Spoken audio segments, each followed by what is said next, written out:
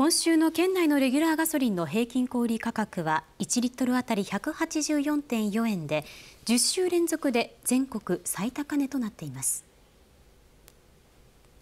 石油情報センターによりますとおととい13日時点の県内のレギュラーガソリンの平均小売価格は1リットルあたり184.4円で先週から0.1円値上がりしました。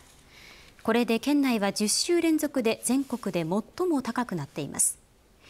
隣接する県と比較してみると唯一の180円台となっていて最も差がある愛知と比べると14.4円高くなっています。